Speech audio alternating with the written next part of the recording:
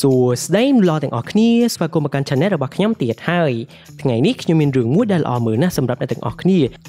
ដែលវាជាប្រភេទរឿងវេទមន្តបែបកំ pl ែងដែលសាច់រឿងវាសូមធានាថាអ្នកទាំងអស់គ្នានឹងមានការភ្ញាក់ផ្អើលបើកភ្នែកធំធំប៉ិនក្របអង្គុញដែលគេបោះនៅក្នុងពេលចូលឆ្នាំខ្មែររឿងនេះមានចំណងជើងថា Nani Markfi ហើយថ្ងៃនេះផងដែរខ្ញុំសូមណែនាំសាក់ដែលជា admin MK Studio ចូលរួមធ្វើការប្រោះផ្ដងវាចាប្រហាមេឃសម្រាប់ធរណីបុកគីហូបអំបិលថែមទឹកមួយផ្តិលអង្គុយមើលរឿងសួស្ដីសាក់ផ្សាយសបកអត់សួស្តីមនុស្សល្អទាំងអស់គ្នាខ្ញុំបាទ MK Studio ហើយថ្ងៃនេះផងដែរហ្នឹងគឺខ្ញុំមកសម្រាយរឿងជាមួយនឹងម៉អមតែហៅថាប្រូរិតប្រូរិតយើងហ្នឹង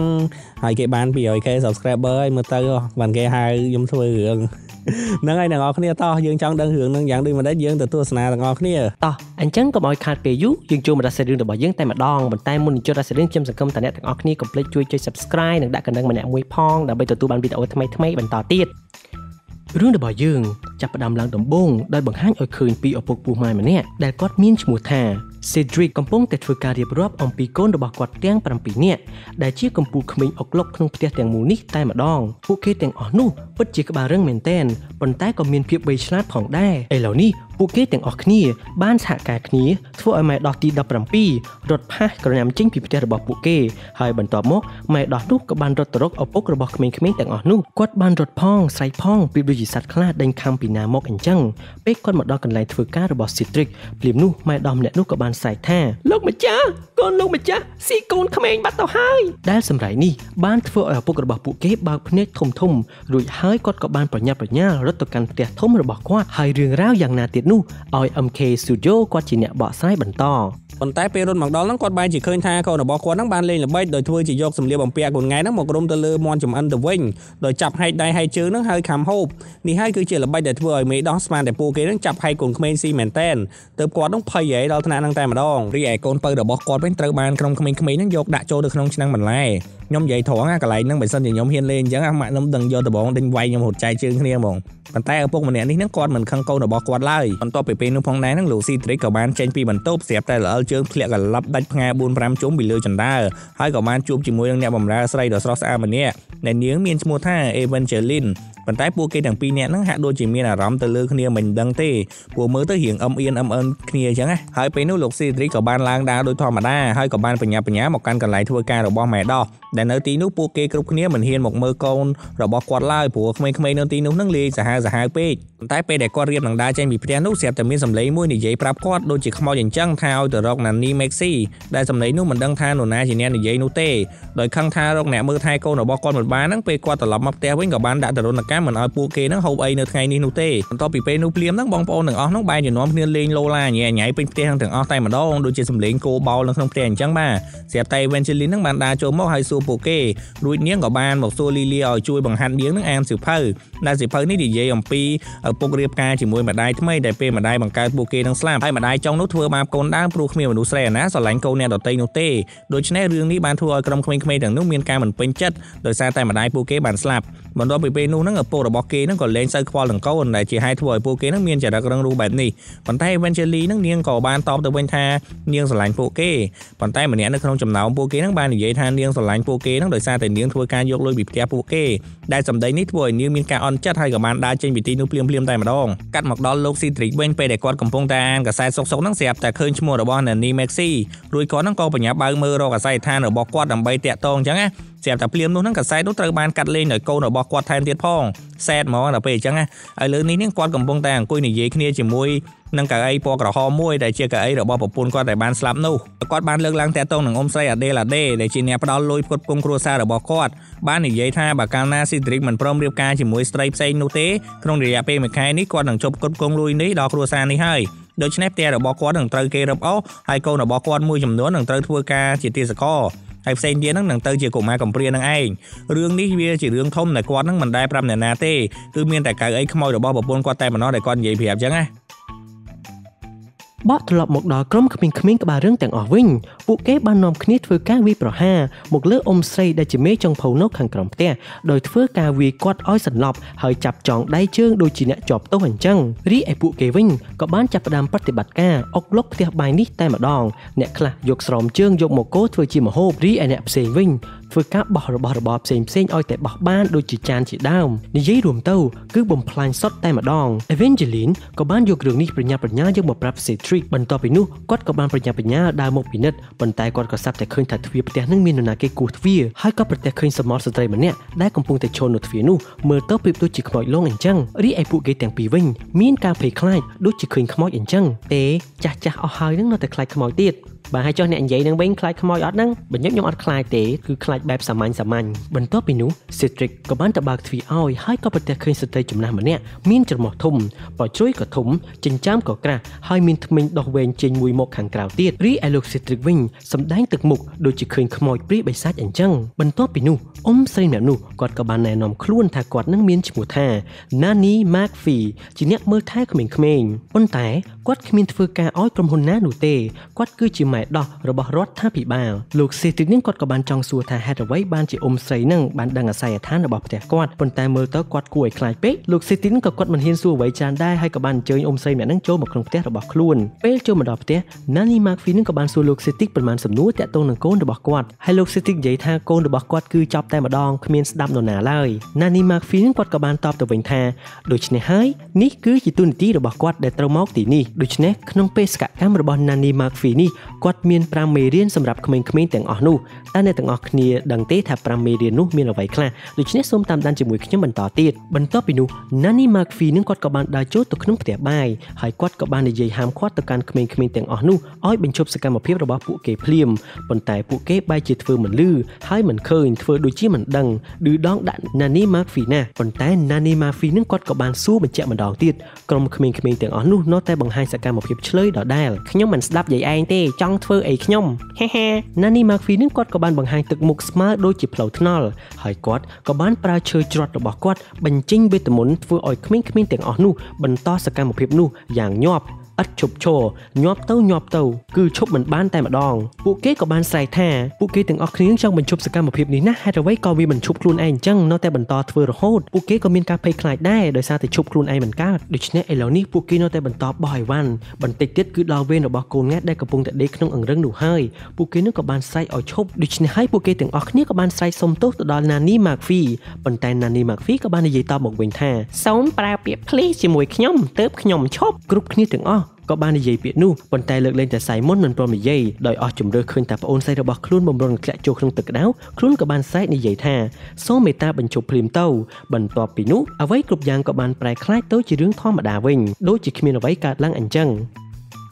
ក្រោយពីនោះណានី Maxi ហ្នឹងក៏បាននាំពួកគេចូលដេកហើយពួកគេម្នាក់ហ្នឹងក៏បានរាយរាប់ឈ្មោះរបស់ខ្លួនហ្នឹងប្រាប់ទៅកាន់ណានី Maxi ម្នាក់ម្នាក់ហ្នឹងសុទ្ធតែកុហកទាំងអស់ពីឈ្មោះរបស់ពួកគេគឺពាក់ព័ន្ធនឹងលីមួកហើយនឹងផោមអ្នកខ្លះវិញឈ្មោះផោមស្អុយផោមឬផោមផ្អឹបផោមលីមួកអីចឹងទៅឬក៏ផោមមានតម្លៃអីចឹងទៅឈ្មោះប្លែកប្លែកប៉ុន្តែម៉ែដោះម្នាក់នេះមិនដែលខ្វល់នឹងសម្ដីរបស់ពួកគេឡើយគាត់ក៏បានហៅឈ្មោះរបស់គេចំចំតែម្ដងតែដំបូងគេនេះគឺអេកាថា Sebastian ហើយ Tora រីឯក្រុមក្មេងៗទាំងអស់នោះមានការភ្ញាក់ផ្អើលជាខ្លាំងព្រោះណានី Mapsi នឹងស្គាល់ពួកគេដែលគេនឹងមិនដែលបានប្រាប់សោះហើយមុននឹងគាត់ដើរចេញគាត់ក៏បានប្រាប់ពីភារកិច្ចរបស់គាត់ទៅទីនេះ When you need me but do not want me When I must stay when you want me but no longer need me then I have to go ហួយដឹងអីខ្លះនេះអមងដាក់ប្រូនិយាយអង់គ្លេសទេណាបន្ទាប់ពីនោះមេដោះថ្មីរបស់យើងក៏បានទៅជួបឪពុករបស់ក្មេងៗហើយនាងបានប្រាប់គាត់ថាខ្ញុំមកទីនេះគឺខ្ញុំមាន5មេរៀនដែលត្រូវបញ្ចប់ ឥឡូវនេះខ្ញុំបញ្ចប់បានមួយមេរៀនហើយគឺប្រាប់ឲ្យពួកគេចូលដេកពេលដែលយើងប្រាប់ឲ្យពួកគេចូលគេងហើយក្នុងលក្ខខណ្ឌការងាររបស់ខ្ញុំគឺខ្ញុំមិនធ្វើការនៅថ្ងៃអាទិត្យពេលរសៀលនោះទេ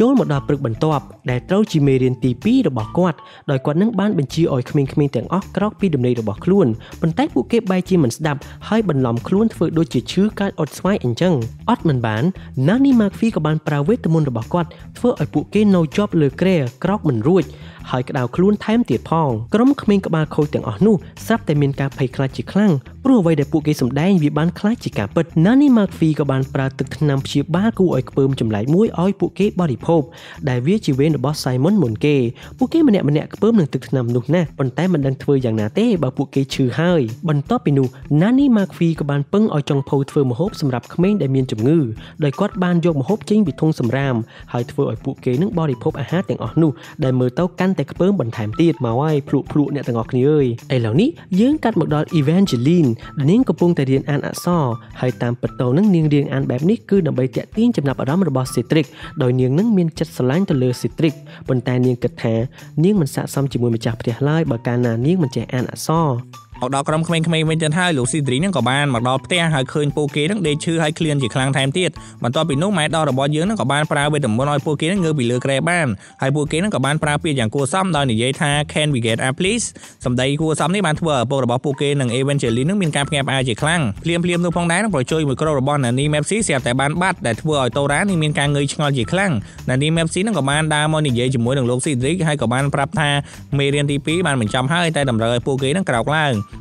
ពេលដែលឪពុកម្ដាយរបស់ពួកគេប្រាប់លោកស៊ីតរីភ្លាមនោះមានការឆ្ងល់ថាចុះមកជួយទៅលើមុខរបស់ Nani Mepsi បាត់ទៅណាមួយប៉ុន្តែម៉ែដោះរបស់យើងនឹងធ្វើមុខគួរឲ្យខ្លាចគាត់ក៏លែងហ៊ានសួរទៅថ្ងៃបន្ទាប់លោកស៊ីតរីបានប្រាប់ពួកគេថាអ៊ុំស្រីអាដេឡាដេនឹងនឹងមកលេងជាមួយនឹងពួកគេនៅថ្ងៃនេះដែលធ្វើឲ្យពួកគេនឹងមានការភ័យខ្លាចជាខ្លាំងលោកស៊ីតរីនឹងក៏បានពឹងឲ្យម៉ែដោះនឹងជួយចាំមើលពួកគេស្លៀកពាក់ប៉ុន្តែគាត់ថាថ្ងៃអាទិត្យពេលរសៀលគាត់មិននៅធ្វើការនោះទេ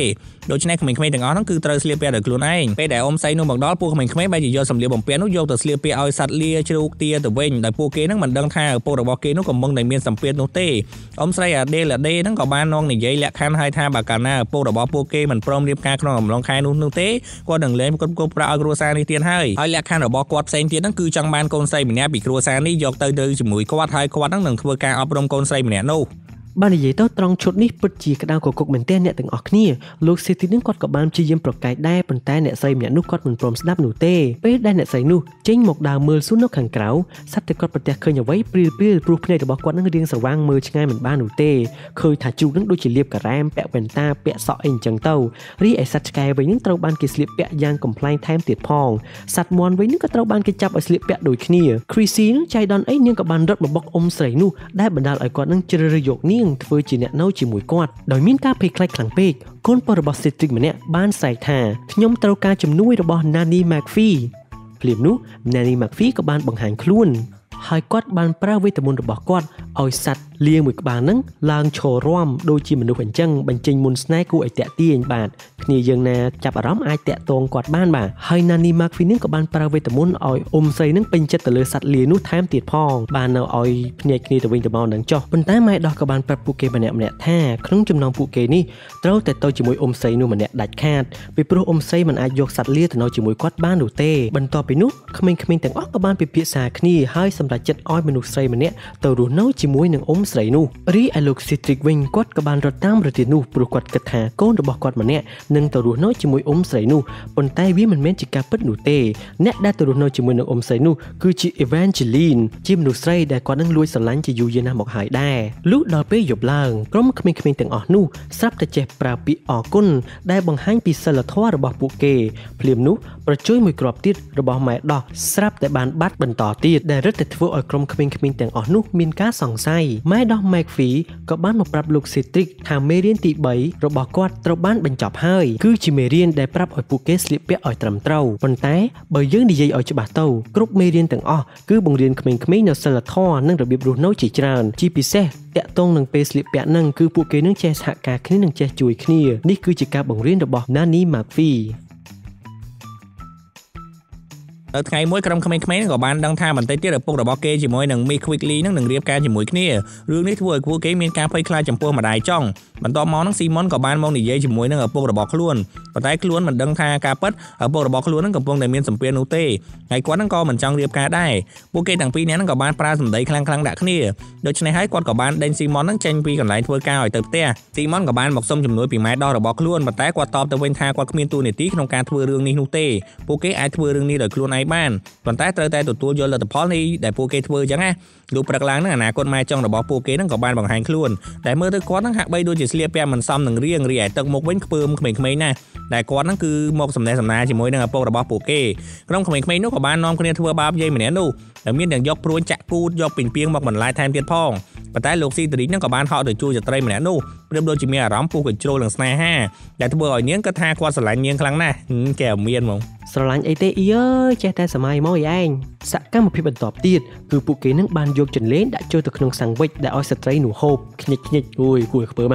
នៅក្នុងប៉ាន់ទឹកពួកគេសាប់តែយកពងសัตว์កង្កែបដាក់ចូលទៅក្នុងនោះហើយក៏មានមេកង្កែបមួយហក់ចេញមកថែមទៀតផងបន្ទាប់ពីនោះនឹងពួកគេក៏បានចាប់យកចាហួយទម្លាក់លើក្បាលស្ត្រីម្នាក់នោះប៉ុន្តែលោកសេទីកបានហក់ទៅកន្ទ្រប់ការពារ Miss Quickly នឹងតែបើយើងពិនិត្យមើលការហក់កន្ទ្រប់របស់គាត់នឹងប្រៀបដូចជាហក់រំលោភអញ្ចឹងអ្នកទាំងអស់គ្នាដែលសកម្មភាពនេះបានធ្វើឲ្យគាត់នឹងកាន់តែគិតថាលោក City នឹងកាន់តែមានចិត្តលើខ្លួនឯងខ្លាំងហើយប៉ុន្តែនាងបានប្រាប់ថាឲ្យគាត់នឹងសារភាពពាក្យស្រឡាញ់មួយម៉ាត់ទៅកាន់នាងទៅទើបនាងព្រមប្រគល់អ្វីអ្វីឲ្យគាត់ប៉ុន្តែពេលដែលគាត់រកនិយាយនឹងក្មេងៗទាំងអស់បានធ្វើឲ្យគាត់និយាយអត់កើតហ្មងនៅតែធ្វើការវិប្រហារមកលើស្ត្រីម្នាក់នោះទៀតទង្វើទាំងអស់នេះបានធ្វើឲ្យស្ត្រីម្នាក់នោះខឹងផ្ទះកំភ្លៀងផាច់ហើយក៏បានដើរចេញពីផ្ទះនោះបន្ទាប់ពីសកម្មភាពរបស់ពួកគេរួចឪពុករបស់ពួកគេនឹងក៏បានហៅកូនកូននឹងមកនិយាយរឿងរ៉ាវប្រាប់ទាំងអស់តាមពិតទៅនឹងគាត់នឹងមិនចង់រៀបការជាមួយស្ត្រីម្នាក់នោះទេតែដោយសារតែបើកាលនៅក្នុងកំឡុងពេលមួយខែនេះបើគាត់មិនអាចរកអ្នកណារៀបការជាមួយគាត់បាន ប្រាក់ឧបត្ថម្ភពីអ៊ុំសីរបស់ពួកគេនឹងត្រូវបានបញ្ចប់ដូច្នេះហើយអ្វីៗទាំងអស់នៅក្នុងគ្រួសារនេះនឹងត្រូវរលាយផ្ទះនឹងត្រូវគេរឹបអូសហើយក្មេងៗមួយចំនួនទៀតនឹងទៅធ្វើជាទាសកររបស់គេក្រុមក្មេងៗទាំងអស់ក៏មានការសោកស្ដាយនិងភ័យខ្លាចជាខ្លាំងចំពោះសកម្មភាពរបស់ពួកគេពួកគេក៏បានសុំជំនួយពីម៉ែដោះម៉ែដោះក៏បានប្រាប់ពួកគេថាពួកគេជាអ្នកធ្វើដូច្នេះពួកគេត្រូវតែដោះស្រាយរឿងនេះលុះស្អែកឡើងក្រុមក្មេងៗទាំងអស់នោះក៏បានទៅរក Miss Quickly ហើយរាយរាប់រឿងទាំងអស់ប្រាប់ដល់អ្នកស្រីនោះអ្នកស្រីនោះក៏មិនប្រកែកហើយក៏យល់ស្របថាមករៀបការជាមួយនឹងឪពុករបស់ពួកគេវិញគឺដើម្បីលុយតែប៉ុណ្ណោះរួចហើយឪពុករបស់ពួកគេក៏បានឲ្យចិញ្ចៀនទៅកាន់ស្ត្រីម្នាក់នោះហើយក៏បានសុំនាងរៀបការបន្ទាប់ពីនោះ Nani McPhee ក៏បានបង្ហាញខ្លួនជួបជាមួយនឹងលោក Cedric ទៀតហើយនៅទឹកមុខដ៏ស្រស់ស្អាតជាងមុនរបស់នាងនិយាយទៅមុខគាត់ដូចស្អាតជាងវគ្គមុនច្រើនហើយគាត់បាននិយាយថាមេរៀនទី4របស់គាត់បានបញ្ចប់ហើយដែលមេរៀនទី4នេះនិយាយអំពីការចេះស្ដាប់គ្នាទៅវិញទៅមកនៅក្នុងគ្រួសារនេះ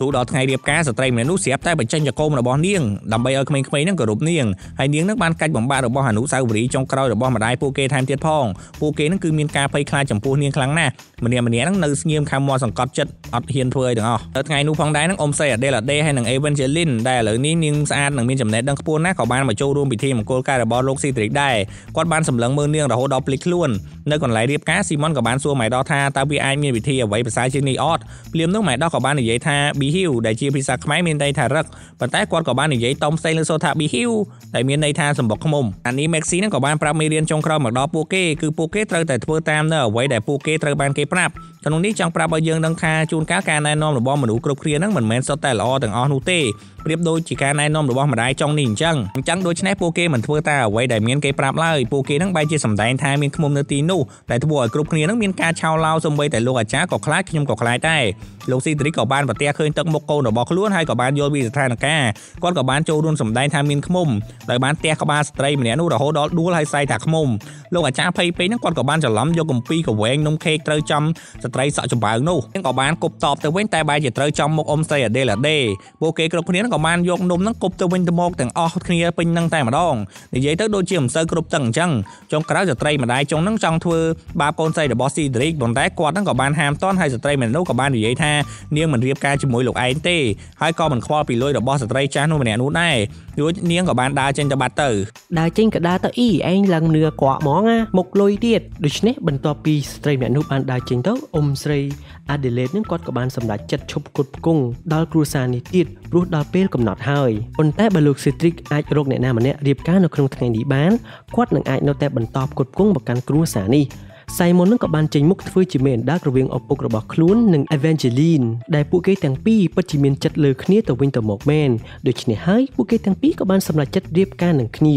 នៅថ្ងៃនោះអ៊ំសីនោះត្បិតតែមានចិត្តអាក្រក់មែនប៉ុន្តែគាត់គោរពពាក្យសម្ដីរបស់គាត់ណាស់ទោះជាគាត់ដឹងថា Evangeline មិនមែនជាកូនស្រីរបស់ Cedric តែជាអ្នកបម្រើទៅវិញក៏គាត់មិនស្ដាយក្រោយហើយនៅតែផ្ដល់ជំនួយមកដល់គ្រួសារនេះបន្តទៀតប៉ុន្តែសុំសន្លប់បន្តិចសិនហើយ Nanny McPhee ក៏បានធ្វើឲ្យព្រិលធ្លាក់ខុសរដូវហើយគាត់ក៏បានបំផ្លាញ Evangeline ឲ្យស្លៀកពាក់ទៅជាសម្លៀកបំពាក់កូនក្រមុំដ៏ស្រស់ស្អាតដោយចេញពីវេទមន្តរបស់គាត់រីឯមុខមាត់របស់ Nanny McPhee ក៏ប្រែមកជាស្រស់ស្អាតដូចមនុស្សធម្មតាអញ្ចឹងហើយគាត់ក៏បានប្រគល់វត្ថុអនុស្សាវរីយ៍របស់ម្ដាយពួកគេមកឲ្យពួកគេវិញហើយគាត់ក៏បានទៅលាម្ដាយរបស់ពួកគេជាលើកចុងក្រោយដូចគ្នារួចហើយគាត់ក៏បានដើរចេញពីទីនោះដោយមុននឹងគាត់ដើរចេញគាត់បាននិយាយថាពេលអ្នកត្រូវការជំនួយពីខ្ញុំតែមិនចង់ឲ្យខ្ញុំនៅខ្ញុំត្រូវតែនៅ តែពេលដែលអ្នកចង់ឲ្យខ្ញុំនៅប៉ុន្តែលែងត្រូវការជំនួយរបស់ខ្ញុំ